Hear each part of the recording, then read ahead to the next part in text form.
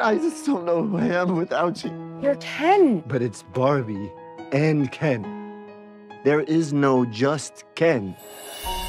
Doesn't seem to matter what I do. I'm always number two.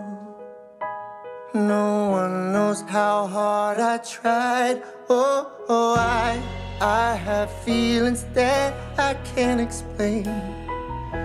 Driving me insane. All my life been so polite. Cause I'm just kidding. Anywhere else I'd be a 10. Is it my destiny to live and die a life of blonde fragility?